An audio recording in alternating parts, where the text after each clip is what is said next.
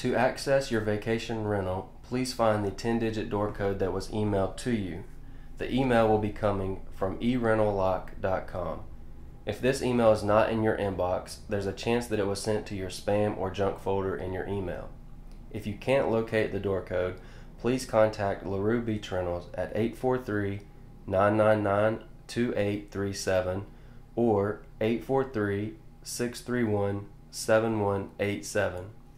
Once you have located the 10 digit door code, simply enter the 10 digit code.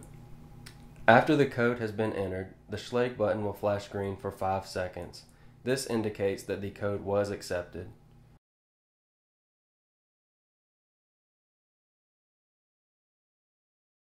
During that 5 seconds, you will need to manually turn the dial on the lock. Depending on which side of the door the lock is located, you may need to turn the dial clockwise or counterclockwise.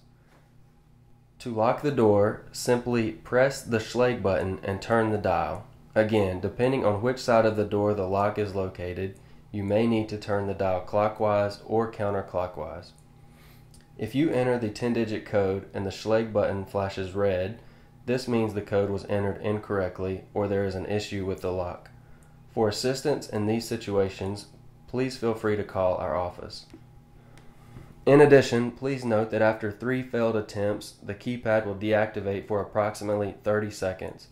This is a security feature to help deter unwanted guests from trying to enter your rental.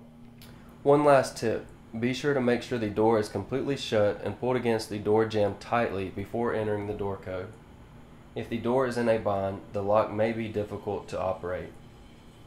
When you are leaving the property, always check the door to make sure the lock is engaged and working properly. Thank you for booking a Larrowe beach rental. We hope you enjoy your stay.